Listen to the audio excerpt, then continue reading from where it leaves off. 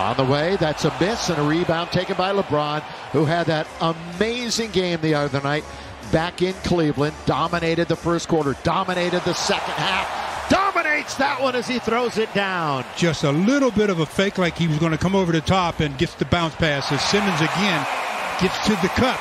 Lays it in. You got to keep Ben Simmons out. Nine you early. Can, you can draw up all the complicated complicated plays you want. Might recall last year he went 28, 10, and 8 in the win here against the Lakers last season. That was just about a calendar year Same ago. thing. Again, it's LeBron. One hand, throw it down. Great pass. All he does is throw it to Marc Gasol and cuts to the basket. Boy, marking that incredible vision. Tobias Harris straight away, right into the lap of LeBron. Long lead, finds AD. Here he goes. He's fouled. Lakers running, both guarded closely. Little hand checking.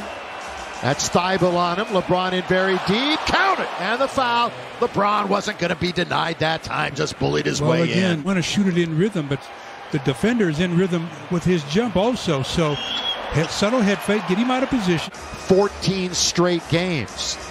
LeBron doing a little dance. Step back just inside the line. He splashes it, fires it up, launches it, rebound to THT. Now, to me, that's a bad percentage shot for Joel. The clock was not an issue.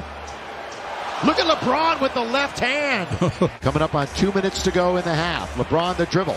Back to Schroeder. Wants it back. He gets it. He's in the key. He scores. He's fouled. The King will get another free throw. Wow, if they re-enter from Schroeder and the whistle sounds. Davis on the outside. It's a seven-point Philadelphia lead. LeBron bounce. AD reverse layup is beautiful.